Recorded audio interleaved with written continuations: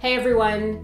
Visual notes, also known as scribing, live drawing, or graphic recording, these are powerful tools for helping people better understand a complex subject.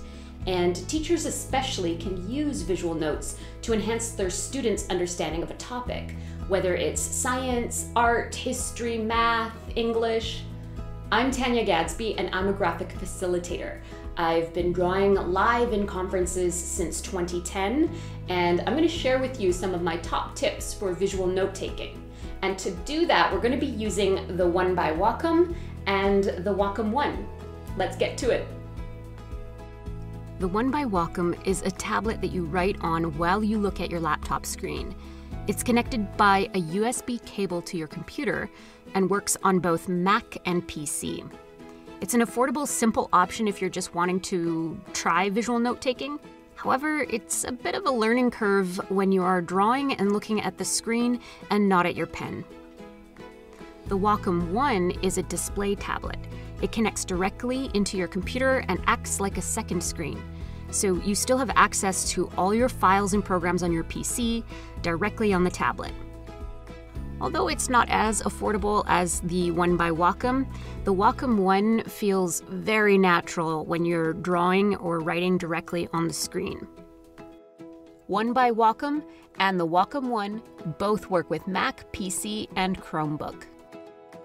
We can use visual notes in almost any classroom setting, such as explaining a topic or when students are sharing ideas, insights, or presenting pretty much anytime you want to enhance learning.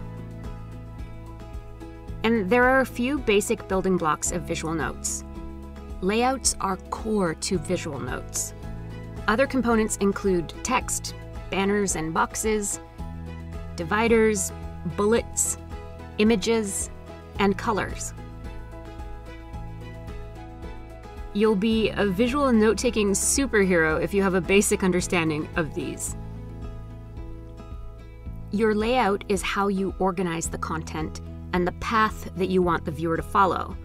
There are many ways of laying out your visual notes, but these are five basic ones. Columns, where you split the page into three and start drawing left to right. A pathway, where you snake around the page. You might use a big arrow to guide the reader.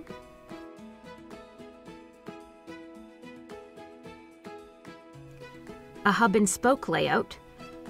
Your main topic is the hub in the middle, and subtopics radiate out. In this case, we might have a diagram of an animal cell as the hub, and each component as a spoke. Boxes. Like a comic book, you might want to work with boxes as your main layout. And finally, a popcorn layout is more open to putting content anywhere on the page. A good rule of thumb is to generally have your title at the top of the page. It's best to keep your text organized by main idea, sub idea, and supporting text. Your main idea is the big topic you're covering, and it might have multiple sub ideas. Same for the supporting text. An example might be dog breeds as our main idea. A retriever could be a sub idea, since it's one type of breed and the characteristics of a retriever can be listed underneath. A different sub idea might be a basset hound, and these are some characteristics. Banners and boxes are containers for your content. They really help split up a lot of text and help the eye navigate the page. They also don't have to be banners and boxes. They could be an image like a car. On our example here, we might add a big banner to the title so it stands out more, and banners to the subtitles.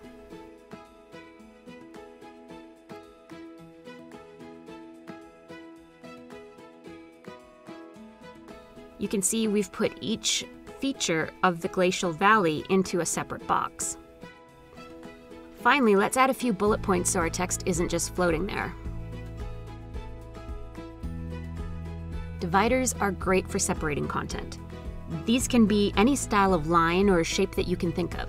It's a great way to section off content that you've captured to help differentiate it. Bullets are another type of divider because they help anchor each piece of text you've written in a list. These are a few simple ones, but bullets can be whatever you think up.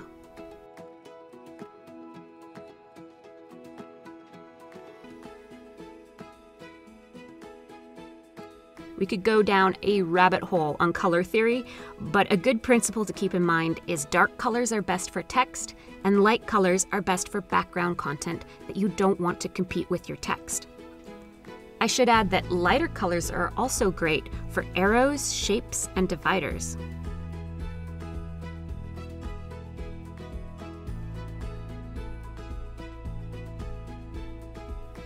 Finally, images. Sometimes people think that they need to be an artist to take visual notes, but this is not true. I've seen excellent visual notes that are mostly text or just arrows and stick figures.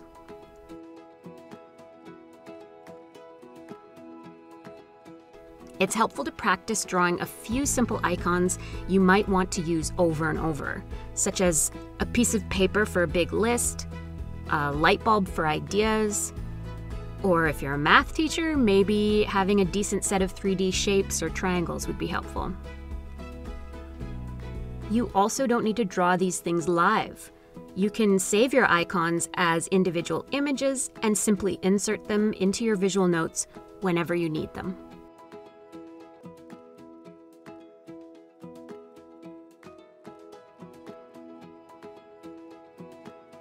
For online classes, you can share your visual notes just through screen share in Microsoft Teams or Zoom.